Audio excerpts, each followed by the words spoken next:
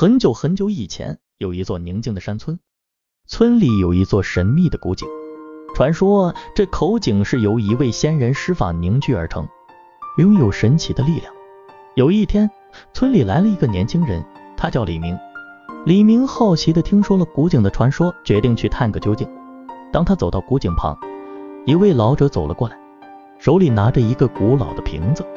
老者告诉李明，这井水具有治愈力。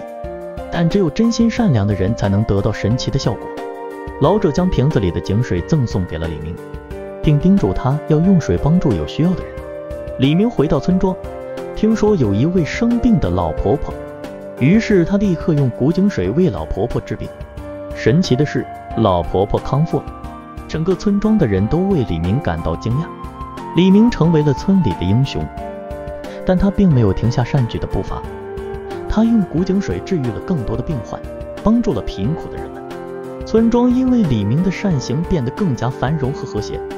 故事传遍了四方，人们纷纷前来这座山村取水，希望能够得到治愈。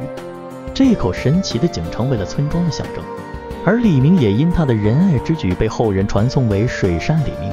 这个故事一直流传至今，提醒人们善行善举，助人为乐。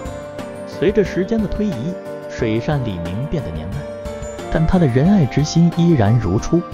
有一天，一个陌生的旅人来到山村，他患有顽固的疾病，希望水善李明能够施以援手。李明热情地招待了旅人，并为他取了一瓶古井水。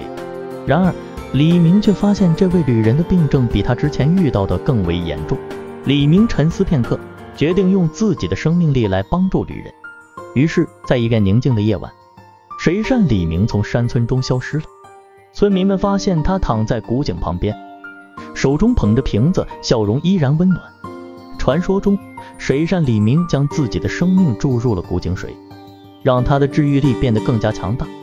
当旅人喝下这瓶水后，奇迹发生了，他的病症迅速好转，焕发出勃勃生机。然而，李明的身体却逐渐消散，最终融入了这片山村的土地中。